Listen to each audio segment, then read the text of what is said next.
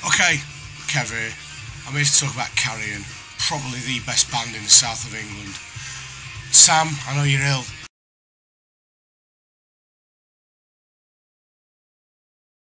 You know, shame on you. But Karrion are playing Sunday, the 5th of May, Stokie Fest. Stokie Fest, £5 entrance, the Camrose, under 16s with a paid adult go free to listen to this.